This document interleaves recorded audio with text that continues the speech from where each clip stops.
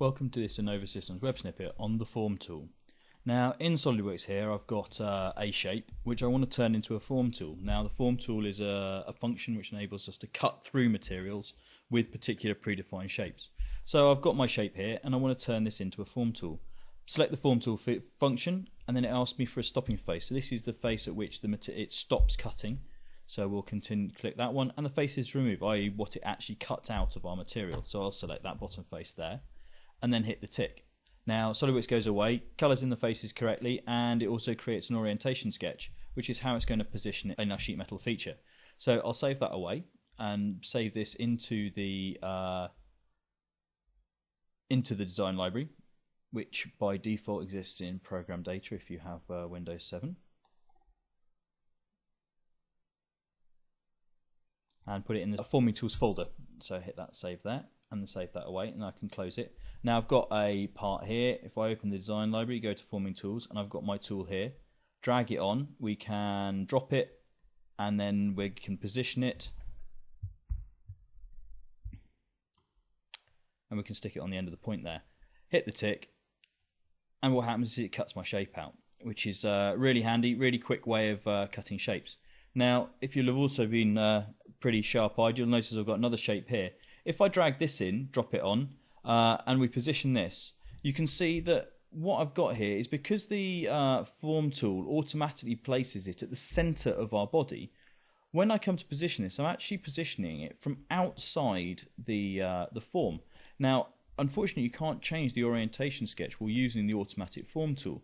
Now, while this will uh, cut through our plate fine, it does make it quite difficult to arrange with other items. So what we can do is we can actually create a manual form tool so we can position our own orientation sketch. So if I open this, uh, this shape up, which you can see we've got there, delete the form tool feature. What I now need to do is make sure that this is going to be set up and coloured correctly. So the first thing we need to do is find out how this is positioned in relation to the top sketch, because obviously if we want it to cut, we need to go down. So I'm going to change this feature so that it's going down rather than up. We then need to color uh, this item so that it will be re recognized correctly uh, for the cutting and stopping faces. So first of all, color the whole body uh, yellow. You'll notice that's the sort of the, the base color.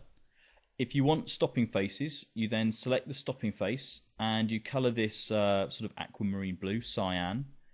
Uh, and then any cutting faces, you want to color red uh, because they're going to be deleted.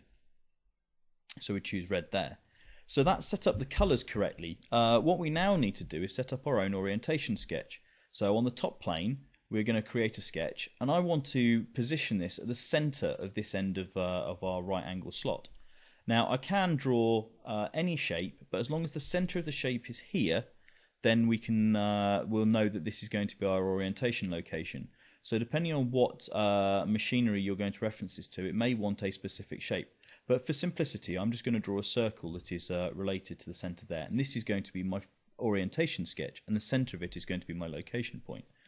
Hit exit sketch, rename this so that it says orientation sketch.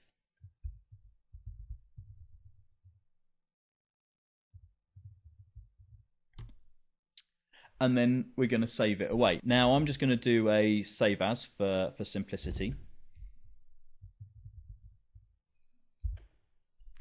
We'll save that away, close the file, and now if I come back in here, we've got shape 2. If I drag this on, then when I go to position, you'll notice that my uh, location point is listed at the center of my circle, which means I can then put it on the end of my line, which is a little bit easier to reference. So you've got your two different ways of creating form tools. The automatic way, which is really nice if your location point is at the very center of your sketch, much simpler and quicker and you've got the manual way where you have to color the faces yourself. Make sure you save it into the form tool folder, but you can then create your own orientation sketch so you know your uh, location point is going to be where you want it. Thank you very much for watching.